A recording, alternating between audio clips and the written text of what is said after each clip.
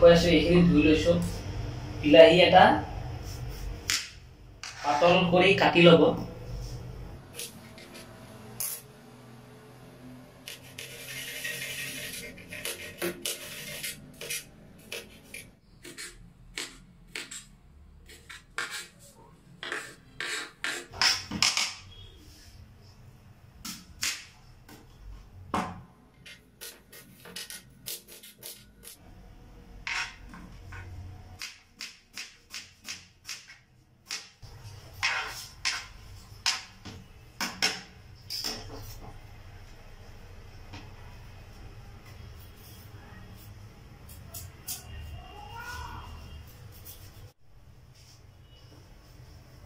অলপ পানী খাই ল'ম।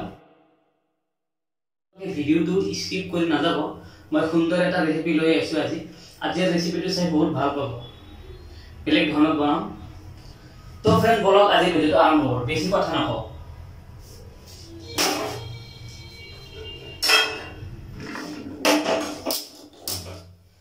ফ্ৰাই পেন তুলি দিলোঁ মই।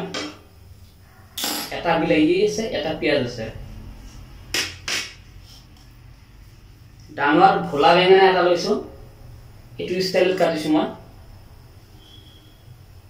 তাৰপিছত ডাঙৰ আলু এটা আছে এইটো ষ্টাইলত কাটিছোঁ। এইখিনি আজি মই এটা ৰেচিপি বনাম আলু বেঙেনা।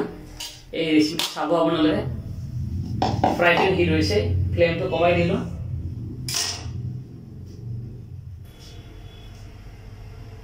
ডাঙৰ চামুচেৰে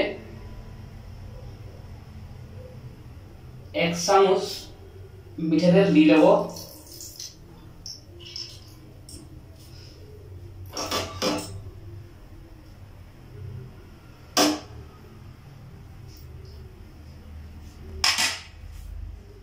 আলুখিনি মিডিয়াম ফ্ৰাই কৰি ল'ব লাগিব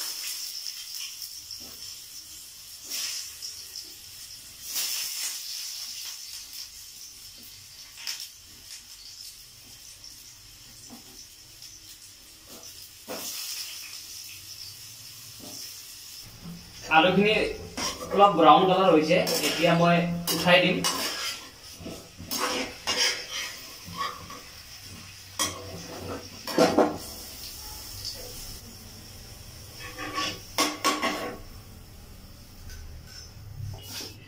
এতিয়া বেঙেনাখিনিও ফ্ৰাই কৰি দিম।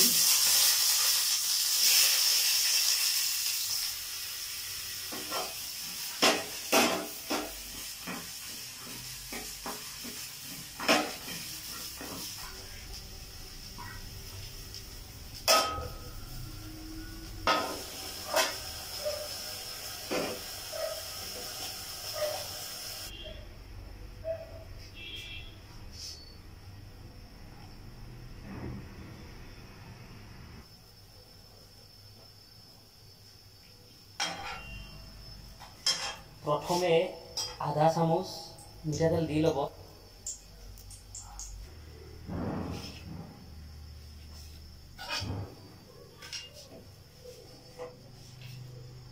পিঁয়াজখিনি গৰম তেলত দি ল'লোঁ মই। গোটা জিৰা আধা চামুচ দিব আজোৱান আধা চামুচ দিব। আদা নহৰু এক চামুচ দিব। কাশ্মীৰী পাউডাৰ আধা চামুচ দিব হালধি গুড়ি আধা চামুচ দিব নিমখ সোৱাদ অনুসাৰে দিব। কেঁচা জলকীয়া তিনিটা দিছোঁ দুটা লং আছে এডোখৰ দালচেনি আছে আৰু ডাঙৰ ইলাচি এটা আছে। তেজপাত দুটা এড কৰি দিলোঁ। পিঁয়াজ বিলাহী আৰু মছলাখিনি ভালদৰে ভাজি ল'ব দুই তিনি মিনিট সময়।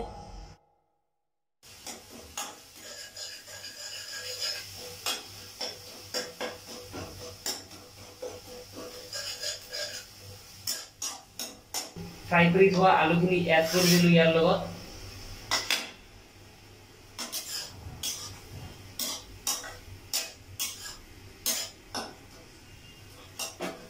বেঙেনাখিনিও ইয়াতে দি দিলোঁ। হাফ ফ্ৰাই কৰিছোঁ বেঙেনাখিনি।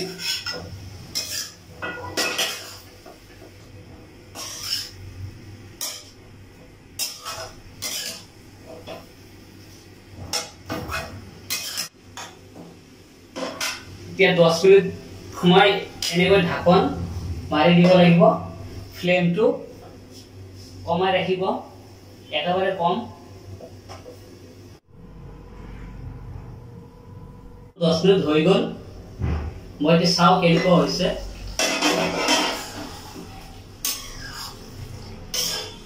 হৈছে ধুনীয়া হৈছে। আপোনালোকে ট্ৰাই কৰক ঘৰত এদিন বনাওক।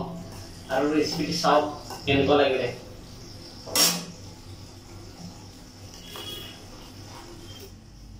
তো ফ্ৰেণ্ড আজি চিম্পল এটা ৰেচিপি বনাইছোঁ।